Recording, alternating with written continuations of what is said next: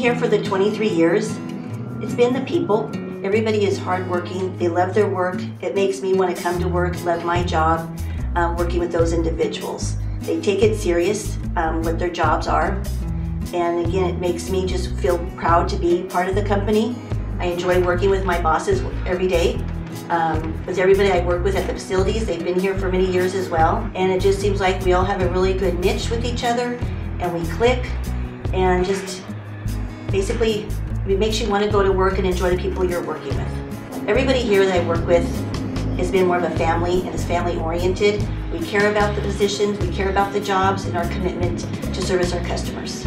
The benefits that um, the company offers us as well, um, the 401k plan, the health benefits, um, that's very attractive and has kept me here as well.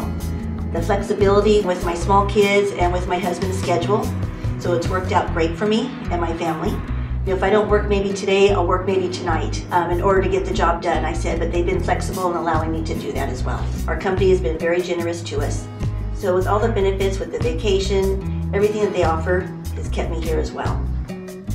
Keeping the clients happy, providing them the service that we do, has been very rewarding to me.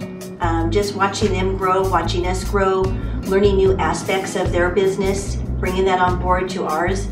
Um, that just continues to you know, kind of give you the warm fuzzy feeling inside when you see that you're able to put smiles on their face, make their job easier, and to retain that business, and then to watch their business kind of start off very slow and grow and grow and grow bigger. Um, that just kind of just builds a different type of excitement to me, and just it's fulfilling, and it gives us um, the opportunity and challenge for us to grow bigger as a company as well.